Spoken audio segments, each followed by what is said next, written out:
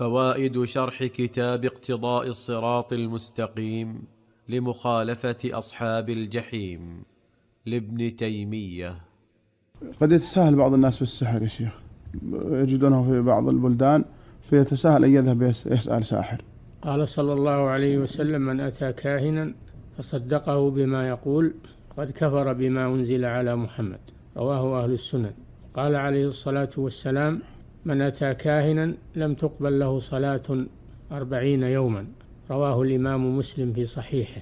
فلا يجوز الذهاب إلى السحرة ولا سؤالهم. مجرد الذهاب إليهم كبيرة من كبائر الذنوب ويمنع قبول الصلاة أربعين يوما عقوبة له. فإذا صدقهم فقد كفر بما أنزل على محمد صلى الله عليه وسلم لأنه صدق الكهان والذين يدعون علم الغيب. فالخطر عظيم والسحر آفة خطيرة وهو آفة الأمم السابقة.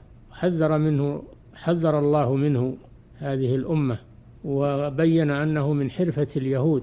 قال تعالى في اليهود واتبعوا ما تتلو الشياطين على ملك سليمان وما كفر سليمان ولكن الشياطين كفروا يعلمون الناس السحر.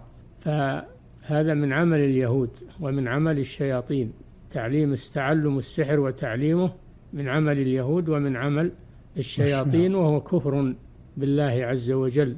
ولهذا جاء في الإسلام إنكار السحر وأن الساحر يقتل. وقد قتله جمع من الصحابة منهم عمر وابنته حفصة و و و و وجندب وجندب بن كعب رضي الله تعالى عنهم.